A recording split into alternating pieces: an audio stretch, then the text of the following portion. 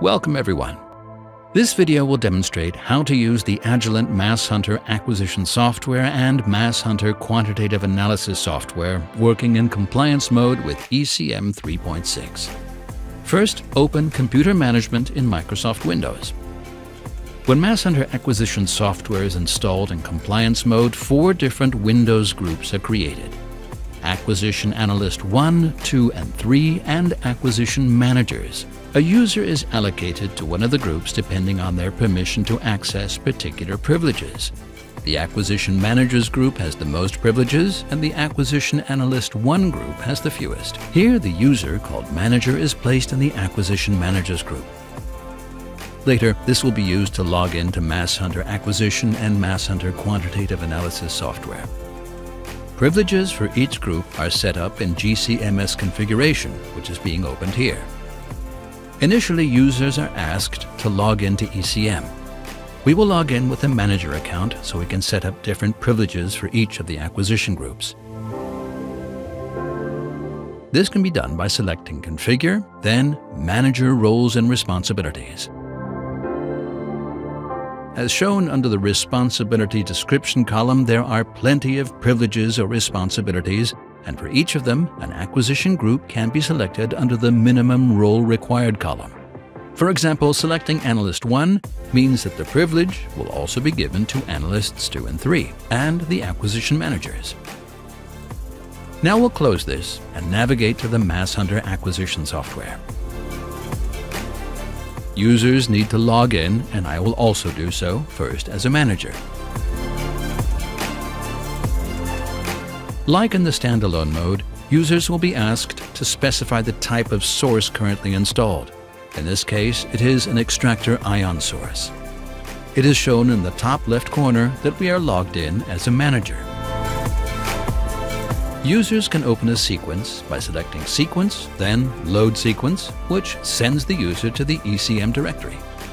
The ECM is organized in a format that we call LCDF, which stands for Location, Cabinet, Drawer, and Folder. In this example, to demonstrate the audit trail functionalities, we will change the injection volume in the method from 1 microliter to 2 microliters. Once that is done, click OK. Then save the method by selecting Method, then Save Method. Users will need to enter a reason for the method change. As a reason, we will enter injection volume which will be shown later in the audit trail. The bottom left corner of the screen shows that the software is connecting to the ECM and saves the method into the ECM. Users can open the method audit trail by selecting Method, then View Method Audit Trail.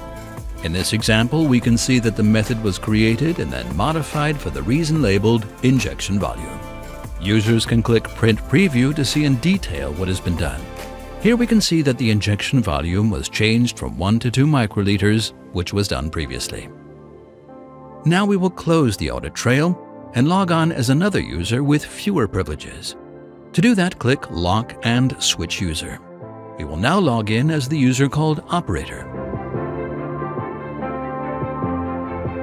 Again, shown in the bottom left corner of the screen, MassHunter Acquisition software is connecting to the ECM to switch users.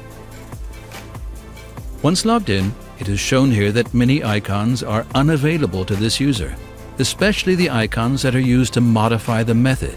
This is correct, as operators belong to the Acquisition Analyst 1 group, who can only modify and start sequences.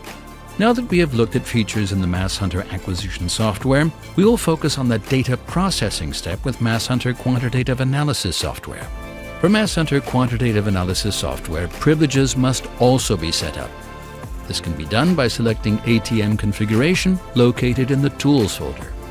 Again, users must log in as the manager to be able to modify the default privileges.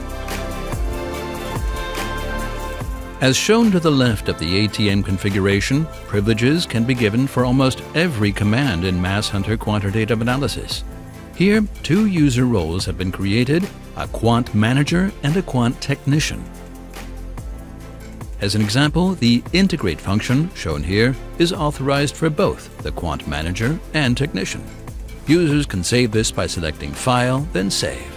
And it will automatically update the privileges set up in the ECM, which will be demonstrated now. To do this, users will need to log into the ECM with the administrator rights. Before looking at the privileges, we will make sure that the operator used previously in the acquisition software is included in the Quant Technician role. To do this, click the Users Groups Roles icon. From the Account Administration window, click Roles, then select the role and click Users. The added users or groups are displayed. Here we can confirm that the operator is included. By clicking Edit, users can check the privileges for this role. Here, it is shown that the integrate function can be used as set up previously.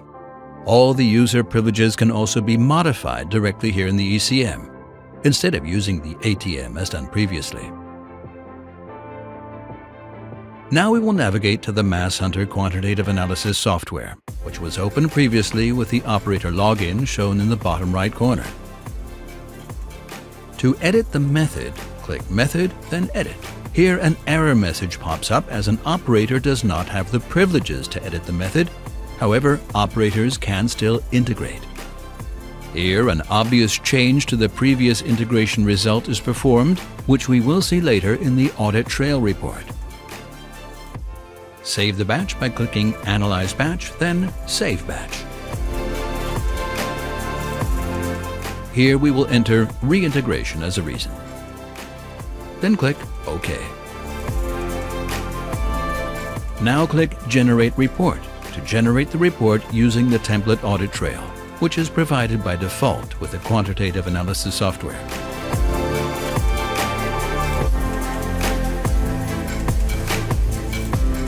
Again, enter the username, password, and the reason for generating the report. In this case, we will enter Batch Reviewed.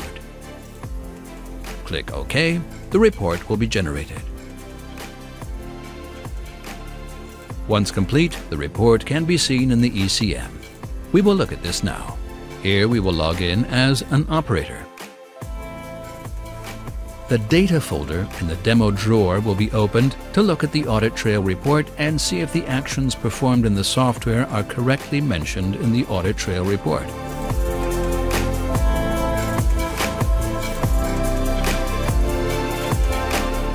It is shown that first, the method was attempted to be edited, but this was denied. Then the reintegration was made, and finally the batch was saved for reintegration reasons. Now we will close this and navigate to the revision history of this audit trail by right-clicking the audit trail file and selecting Revision History. The revision history shows that a previous version of this report was generated and the two versions are saved to the ECM. This is all I wanted to show you regarding the MassHunter software and ECM for working in compliance mode. Thanks for your time. Have a great day.